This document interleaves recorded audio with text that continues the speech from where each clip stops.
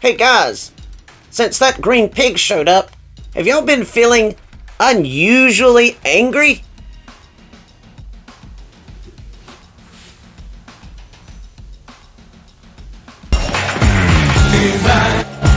Super Dave here with another Super Dave review.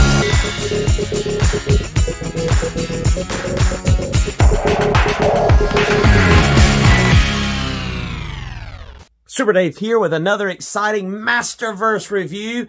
And today we're going back to Sunman, where those who have the power of the sun, and this is a villain, yes, Pighead. That's right, we're going to look at Pighead. They were so original with names back in the Masterverse or Motu. And of course, we know Sunman has joined the Masterverse and the Motu world or saga uh, merging them together, which I think is so cool. Wish they would do the same thing with the Thundercats in this line. Wouldn't that be awesome? Anyhow, Sunman has a villain, and his name is Pighead. Now, just like all villains in Super Dave's universe, all villains end up in Eternia, just like the mutants and even Sunman's villain. They have visited Eternia. So we've got a Mod Podge over here and Eternia back here of villains and some uh, spectators with Sunman to see who's on the scene. So let's go ahead and look at the box. Look at that awesome bookend artwork. always, they knock it out of the park. Looks phenomenal. And on the back as well. If you'd like to pause and read that bio now, you can. And there are the other three in this wave who have eluded me so far. We just have to be patient. They'll get here eventually. I've not even been able to find them yet. They're sold out on Target, Walmart, Paul's Mart, everywhere. But anyway, we'll find them eventually. Can't wait to review those. But here we have Pighead. Let's go over here and check him out. And here we are in Eternia where Sunman has gathered uh, together with some of the other allies, where they're overseeing a meeting getting ready to occur down here in the valley of Eternia with Skeletor and Sloth and some of the other villains to meet, that's right, Pighead. So let's first look at Pighead's accessories. Talk about some bright colors.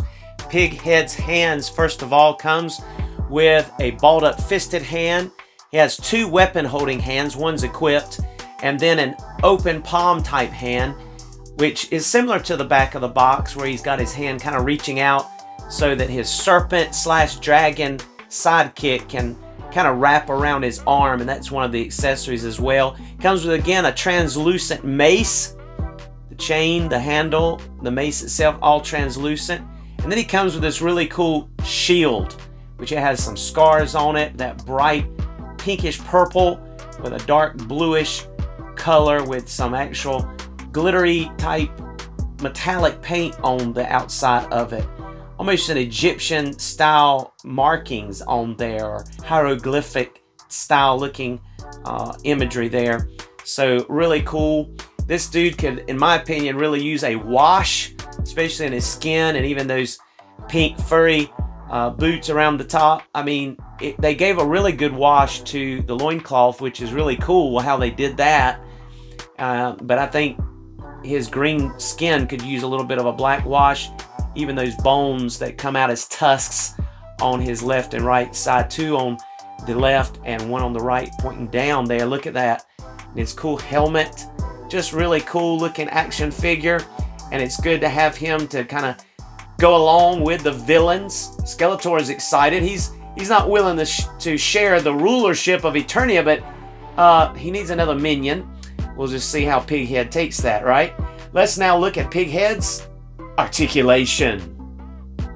All right, bringing Pighead in a little closer here. Let's take a look at him. First of all, I want you to notice this translucent serpent slash dragon type uh, accessory. Looked up online, no record of him really having a name, but there is some glitter worked in to his body, and he is translucent. Unfortunately, there's no wiring in his body, so you can't like pose him, but you can kind of wrap him around his arm. It takes some work to kind of get him just right. It's hard. It was hard for me to tell what was the top of his head and what was the bottom of his head. Almost looks like it could go either way, but I believe that is the top there because the uh, he's got kind of an overbite there.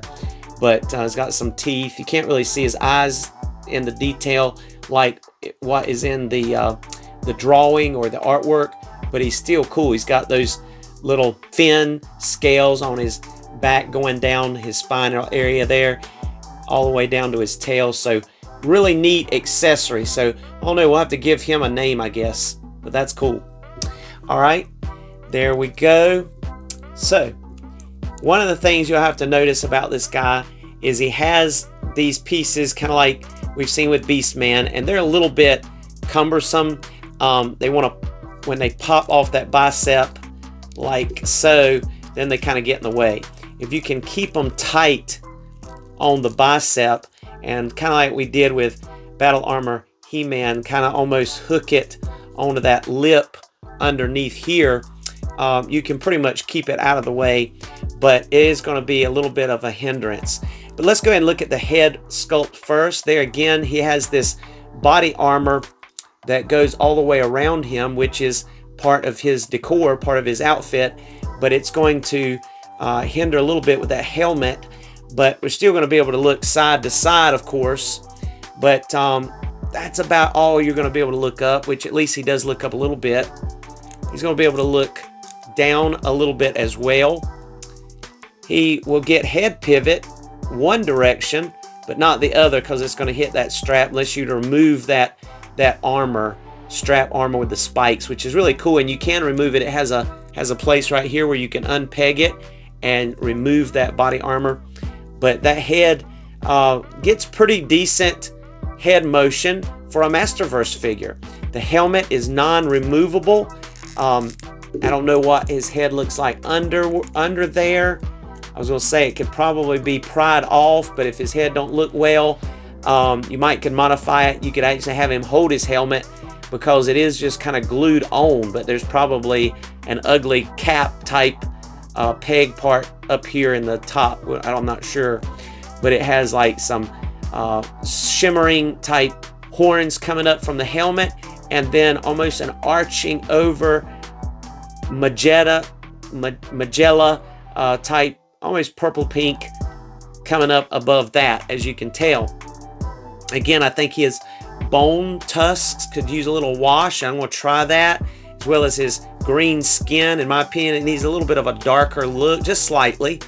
Uh, these, these gauntlets, I'll just mention this while I'm thinking about it, are non-removable unless you were to do some kind of manipulation because you can kind of see where it goes into almost like a indention into the sculpt, but it is glued on tight. All right, you are going to be able to get 360. You do have true bicep swivel, double jointed elbows, and that gauntlet does not swivel, but of course his hand has a hinge and swivel. All these are horizontal hinged. He does have the ability to crunch forward that much. He's going to be able to bend back a pretty good amount for a Masterverse figure and get some side-to-side pivoting. So he has a really good uh, diaphragm joint. Doesn't get in the way. Even with the uh, the belt does not get in the way of any of that. So that's cool. It kind of moves out of the way. I love his Masterverse Motu type belt with that, that almost, I don't know, brick red, um, copper brick red shimmering there with the matte black and then the wash on this uh, loincloth, almost the scales here, man, they're phenomenal. That looks really good. Wish they had done that with the bones up here. But yeah, great, great wash on that. That's just impressive. It looks looks really quality, really pops. It, it would have looked so plain if they had not done that. So I appreciate that. Wish they had done that with the gauntlets too, right? Something on there but it looks good. I mean, overall, I'm not trying to complain. He looks really cool. I'm impressed with him. I didn't know a lot about Sunman. I really like Sunman. And we'll look at them side by side in comparisons. He'll do full splits. He will be able to kick up a good amount. He'll be able to kick back just a little bit. Thigh rotation, double jointed knees, which get good range. He does have boot cut. He'll go up a good amount, all the way tiptoes. Generous foot rocker with the peg hole in the bottom. So yes, our pig head, half man, half pig, is really phenomenal. I like him. He's cool. He's gonna he's gonna join Skeletor's ranks just as Sunman in my Masterverse joins He-Man's ranks as an ally. So uh, I think that's cool. You see him there from the back. Even got some detail on that helmet, some scarring, some nicks, even some detail on his back armor there. And that back armor, that armor is, is not removable. It's part of the chest mold. So instead of getting always getting a buck with armor, you know, piled on it like we did in classics, and it worked a lot of times and sometimes it didn't work. But Masterverse is being, I would say, a little smarter about that so they don't look overly bulky. But I think he looks great. Now let's do some comparisons. And Sunman comes down and lands with the power of the sun flaming up here. And he looks great alongside his nemesis, Pighead. Those are alternate accessories that actually came with some Marvel Legends figures, the uh, flames and the uh, flaming fist effects. But I just love using them with this Sun Man because he has the power of the sun. He needs to have some flaming action going on. And I added that jewel to his belt. Found it at Hobby Lobby. So that's cool. And he is awesome. I really like Sun Man. I'm hoping to get another one so I can do some more customization to him and uh, have one that's pretty much as is with the exception of the jewel. But I also want to do some black wash on this pig head as I mentioned earlier. So just looking fabulous. Cool. So I guess since you're half man and half pig, you don't eat bacon. One of my favorite foods. well, Skeletor and Pighead look awesome together. All these bright colors, looking cool, really neat. That's the San Diego Comic-Con 2-pack Skeletor, Masterverse Skeletor 40th anniversary version. Hopefully everyone will be able to get a hold of one of him soon. Hopefully, haven't heard any rumors on that yet for 2023, but we can keep our fingers crossed because I'd love to have another one too, just to uh, be able to have some flexibility, use them in different ways, but I really like this guy and have tried to keep him pretty much as is with his metal, cool metal sword back there in his sheath. But Pighead looks good even with Skeletor. And don't ask me why, but I just really thought it would be cool to see him paired alongside Rintrah, the Build-A-Figure from Marvel Legends. But you know what? I don't know. He has so much more of a realism to, to him. And in this guy's present form right now, Maybe we can do some customization. He just looks mighty cartoonish to me. Uh, but I still think he's cool and you can still make this work if you like. What is the deal with all the courts? Yes? I have a mace too. Monkian and the other mutants from Thundercats look great alongside of Pighead. I think they look great look cool. I like this. I say, you are rather tall for a pig. And Plun-Darr, to get a look at him alongside some classics action here, and even a Marvel Legends Rabbit Girl here. I think they're awesome together. But anyway, you can see he looks good with some of the classics figures as well, especially this Plun-Darr. I like this a rabbit dude, and a pighead dude. Thank you again for joining us for another Super Dave review. Come back and see us soon as we will be reviewing the Thunder Tank next, God willing. And looking forward to that. Please like if you've enjoyed this video. Subscribe if you've not done so. It really helps the channel. And I appreciate every one of them, as well as your comments. And we'll see you next time. Be blessed and enjoy some photos in the photo gallery.